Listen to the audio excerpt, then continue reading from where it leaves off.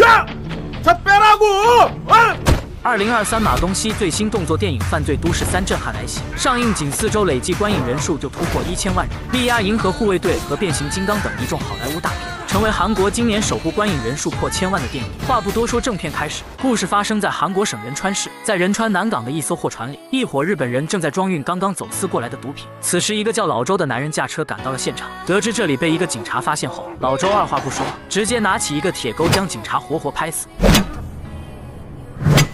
这让领头的日本人十分不满，毕竟在韩国杀死警察可不是什么小事。然而老周却一脸的无所谓，警告对方不要再出什么差错，全力准备好明天的交易。原来这个老周是当地缉毒队的队长，而领头的日本人名叫尹田，是日本山口组韩国分会的会长。两人在一起狼狈为奸，偷偷私吞掉从日本走私过来的毒品，然后在地下售卖，从中获取私利。由于他们的毒品之优价廉，一个华裔商人向他们开出了二十公斤的大订单。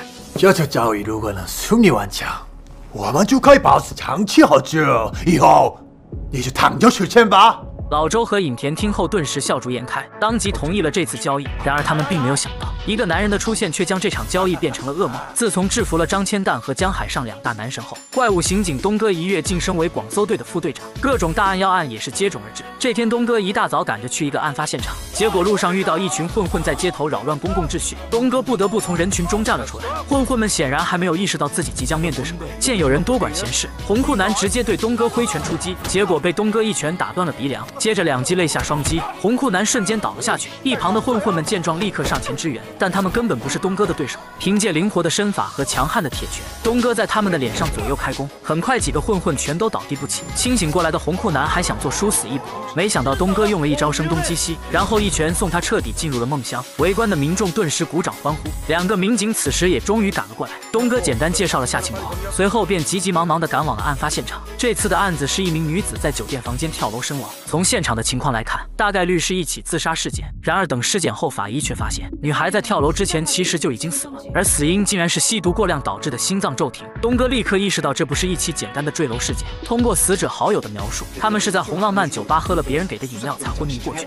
于是东哥当晚带着同事来到这家酒吧，在线人的引荐下，他们顺利进入了酒吧内部。可当东哥想上楼去查看情况时，一个巨型壮汉却将他拦了下来。没办法，东哥只能用实力说话，一拳将壮汉送入了梦乡。上楼后，后东哥在厕所里正好撞见有人在交易毒品，于是他跟进了贩毒小伙的包厢，二话不说拿出手机就是一顿拍照固定证据。两个小伙这才反应过来有人找茬，立刻起身反抗，结果被东哥一个大耳光扇晕过去。巨大的声响把睡醒的壮汉再次引了进来，结果东哥一拳再次送他入迷。另一个保镖也没挺住多久，被东哥三两下轻松制服。从贩毒小伙的口中，东哥找到了酒吧经理的包厢，没等经理反应过来，直接就被东哥按到了桌上。随后他被抓到了警局。然而这个经理是个懂法的人，面对警方的问话，他油盐不进，表示在律师来之前他什么都不会说。但显然他不知道东哥可是出了名的文明执法模范，只用一个眼神，同事们立刻动身开始打扫房间。经理瞬间有些不知所措。就在同事清洁摄像头的一瞬间，经理突然被一股神秘的力量给掀翻到了桌子上。等他再次醒来后，态度立刻发生了一百八十度大转变，乖乖的把自己所知道的全部交代了出来。顺着经理的线索，东哥成功调查到毒品是从日本山口组那走私而来。很快，队长就带人锁定了一个山口组的联络点，双方瞬间在房间里展开混战。两个日本人由于刚刚吸食毒品，战斗力异常惊人。好在队长及时出手，用电击枪将二人制服。随后，他们在房间里搜到大量毒品和一把警用手枪。然而，就在队长带人高兴的凯旋而归时，一辆车子突然杀出，将他们的面包车狠狠地撞到了路边。只见车上下来三个蒙面男，不仅抢走了后备箱里所有的毒品，还把两个日本人当场灭口。而带头的蒙面男正是老周，他带人抢回货物后，怒气冲冲地来到了影田的据点。一个小弟还想上前阻拦，结果被老周 周抓起头发一顿狂扇，老周再次警告尹田不要再出任何问题。另一边，东哥得知情况后，急忙赶到医院去看望受伤的同事，虽然车上的毒品都被抢走了。但那把警用手枪却保留了下来。通过调取枪械的备案记录，他们发现这把手枪是一名缉毒警察的，而这个警察在几天前突然失踪了。为了掌握到更多线索，东哥只好到缉毒队去寻求帮助。然而前来接待他的不是别人，正是老周。对于东哥的到访，老周假惺惺的笑脸欢迎。可当东哥想询问失踪警察的情况时，老周却以队内机密为由，拒绝向对方分享任何情报。没办法，东哥只能悻悻的离开。好在通过曾经刑警队的同事，东哥又找到一个叫小胖的线人。起初小胖还以为东哥是来找茬的，展开架势就要和他比划比划，结果被东哥一拳直接干躺，瞬间就没了呼吸。 잘못된 거 아니에요? 아, 깨워드릴게요. 我得知东哥的来意后，白爱姨揍的小胖也是乖乖配合， 把尹田和他经常出没的夜店全都交代了出来。然而等东哥带人赶到夜店后，却发现尹田根本就不在这里。无奈之下，东哥只好开展了一场文明执法行动，终于从夜店小弟那里问出尹田在城北的某家酒店。他立刻带人向酒店的方向出发，殊不知此时还有两伙人也在去往酒店的路上。原来就在刚刚，老周在交易地点被尹田放了鸽子。尹田说他们私吞毒品的事被山口组本部发现了，一条会长从东京那边派来了杀手，所以他现在必须带着货躲起来，以确保自己的人身安全。这让老周尴尬到了极点，他只好请求买方再给他两天时间。可作为买方的华裔商人也不是吃素的，到时候还见不到货，就不会这么好说话了。我们可他妈不敢！你是不是什么警察？憋了一肚子火的老周立刻开始在全城搜捕尹田，而尹田也并没有说谎。自从运往韩国的毒品总是出现不明原因的丢失，山口组本部也渐渐察觉到了异常。一条会长派出有着清道夫之称的李奇前往韩国，命令他务必要找回那些丢失的毒品。李奇抵达后，带人直接杀进了尹田的据点，二话不说举起武士刀在里面大开杀戒，整个会所瞬间哀嚎遍野。很快，里面的人就被斩杀殆尽。随后，李奇命人掘地三尺也要找到尹田。一时间，三路人马全都向城北赶去。此时的尹田正在酒店店里准备携款潜逃，可当他刚走出房门，就被人堵在了走廊上。原来是李奇带人率先来到了酒店。等东哥他们赶过来时，尹田已经被架到了车上。好在东哥眼力过人，及时发现目标，迅速让同事倒车将对方车子截停。双方立刻在停车场里展开搏斗。尽管东哥的铁拳输出异常凶猛，但为了救被困的同事，他还是被李奇的车子撞飞，只能眼睁睁地看着尹田被对方带走。随后，队里的同事也陆续赶到了酒店，在现场除了找到一具日本人的尸体，并没有发现其他有价值的线索。而最后赶到酒店的老周这才知道，原来广搜队也已经关注到了尹田。就在所有人都为了找到尹田而大费周章时，李奇却没有按套路出牌。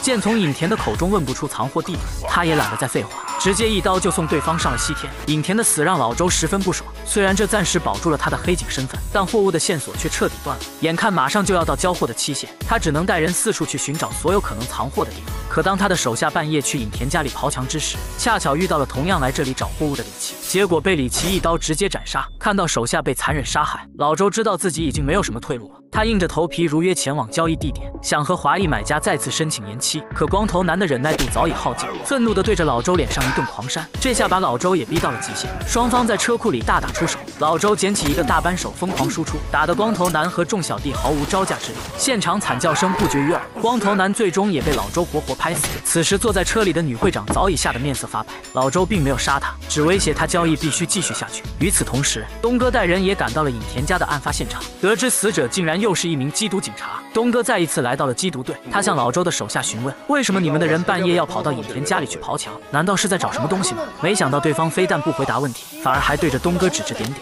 气得东哥直接掰断了他的手指。尽管老周从头到尾都没有出现，但东哥此刻已经对他产生了怀疑。而要想让老周这个幕后真凶浮出水面，看来只有先人一步找到那批毒品才行。东哥立刻再次对夜店小弟展开审问。 야, 불 좀 켜봐. 왜 이렇게 어두워? 아, 예. 아, 예. 제가 킬게요. 아니, 저 그, 야, 예. 너 야쿠자 어디 갔어? 야, 야, 이거 왜 이래? 야 이거, 야 이거 꺼. 정지 눌렀는데? 안 꺼지는데요? 아, 됐어, 아, 됐어, 예. 됐어. 됐어. 왜 이래? 죄송합니다. 아, 다시 돈다. 코드를 뽑아.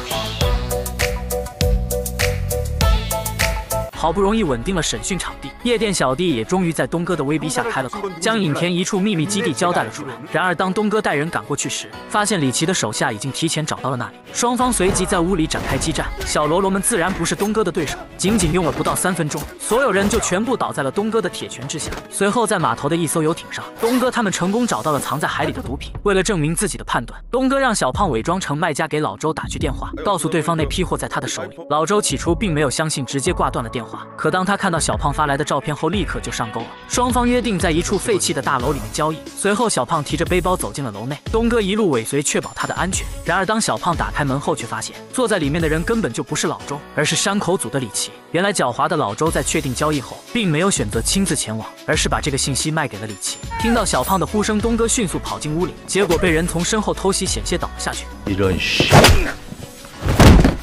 得手后的李奇立刻命人打开背包查看，没想到里面竟然是满满一兜子的盐巴，根本就不是他要找的毒品。而此时老周带人在楼下截住了广搜队的车，果然不出他的所料，真正的毒品就在外面的车子里。由于势单力薄，东哥的手下只能眼睁睁地看着老周抢走毒品。等队里的其他同事赶过来时，东哥和小胖已经被李奇带走了。然而日本人显然还没有意识到，他们抓走的是一个怎样的怪物。清醒后的东哥瞬间恢复了战力，三拳两脚就将李奇的小弟全部干翻在地。李奇见状，立马抽出武士刀应战。尽管他的刀法异常惊人，但在绝对力量面前，一切花里胡哨的技法都是徒劳。东哥趁机举起一个餐盘抵挡，接着向内用力一掰，一记大力金刚掌直接将武士刀拦腰劈断。失去武器的李奇瞬间无力反击，最后被东哥一拳打飞，彻底丧失了行动能力。另一边，老周携带毒品准备逃离韩国，可还没等他们的车子启动，一辆吉普车径直就撞了上来。原来东哥早就在毒品包里放了追踪器，二人在大楼里展开最终的搏杀。东哥显然不怎么看成龙大哥的电影，在狭小的空间里根本施展不出自己的实力，被老周打得差点断了气。好好在东哥拥有绝对的身体优势，总算成功摆脱了束缚。老周迅速爬行，从抽屉里拿出手枪，结果被东哥牢牢扣住手腕，将枪里子弹全部射光。这一刻，东哥的反击也终于开始了。